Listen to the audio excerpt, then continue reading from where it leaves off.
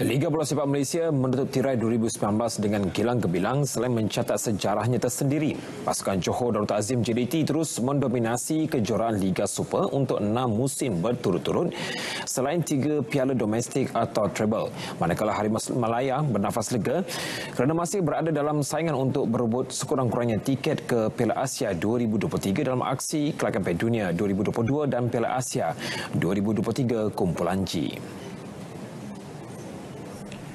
Bermula dengan kejayaan merangkul Piala Subangsih apabila jaringan tunggal Gonzalo Cabrera membolehkan skuad Harimau Selatan selaku juara Liga Super 2018 mengalahkan juara Piala Malaysia 2018 Perak. Momentum itu diteruskan melalui saingan Liga Super. JDT mencatat 16 kemenangan, 5 seri dan 1 kekalahan sekaligus dinobatkan juara musim ini dan sekali lagi melaikan diri ke saingan peringkat kumpulan Liga Juara AFC musim hadapan. JDT yang beraksi pertama kali dalam peringkat kumpulan saingan tertinggi Kelab Asia tahun ini turut meraih pencapaian terpuji antaranya menumpaskan juara bertahan Kashima Antlers dari Jepun 1-0.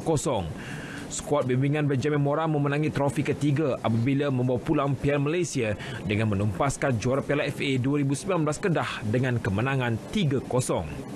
Susulan kejayaan treble itu, pemain JDT mendominasi anugerah bola sepak kebangsaan ABK 2019 apabila mengungguli enam kategori diterajui Safawi Rashid yang mengkalkan gelaran pemain paling bernilai MVP.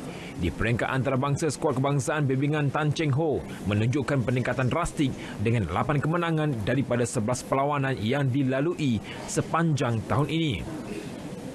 Ini termasuk kejayaan mengatasi pasukan di ranking lebih tinggi seperti Tajikistan dan Thailand.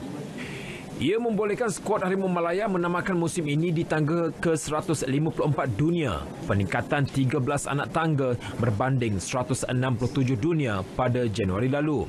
Bagaimanapun di sebalik kecemerlangan di peringkat domestik, skuad kebangsaan lain pula ceritanya untuk pasukan bawah 22 tahun kendalian Dato' Ong Kin Swee. Pada temasya Sukan C Manila baru-baru ini, skuad bawah 22 tahun negara terkandas di peringkat kumpulan apabila sekadar mencatat satu kemenangan, satu seri dan dua kekalahan.